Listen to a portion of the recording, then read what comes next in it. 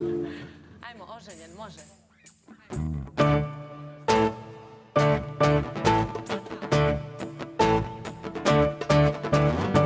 Jesam li rekla da mi ništa tuđe ne treba? Da sam jesam i baš zato ne znam. Što li sam pogledala tamo gde se ne gleda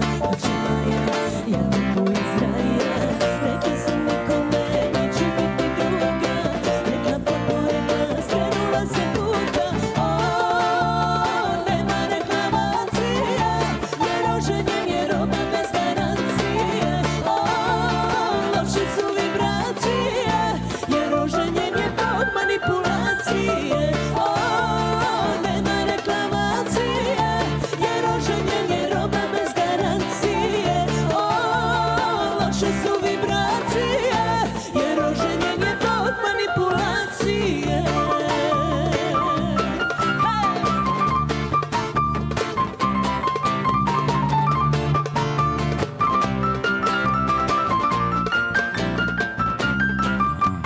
Oh